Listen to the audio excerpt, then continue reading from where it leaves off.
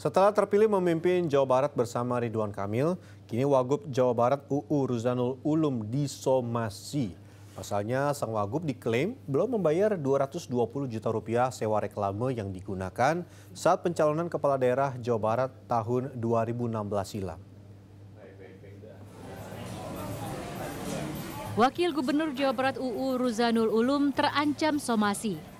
Ia dan mantan ketua tim medianya dilaporkan belum membayar kewajiban pembayaran biaya reklame pada saat pencalonan Gubernur Jawa Barat tahun 2016.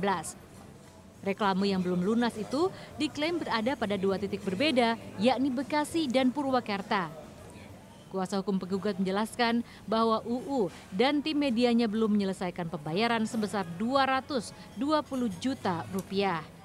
Sampai somasi ini terakhir dilayangkan, tidak ada penyelesaian atau atau apa cicilan sedikit pun gitu. Kami akan melakukan upaya hukum lanjutan apa baik langkah hukum perdata, gugatan di pengadilan atau pelaporan secara pidana gitu.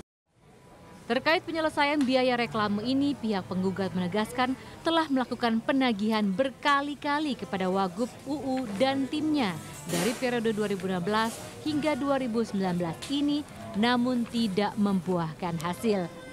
Reklame yang terkait pada kasus ini adalah billboard berisi gambar UU Ruzanul Ulum di Jalan Raya Bekasi Barat berukuran 6 kali 12 meter, sementara di Jalan Raya Sadang Purwakarta berukuran 5 kali 10 meter.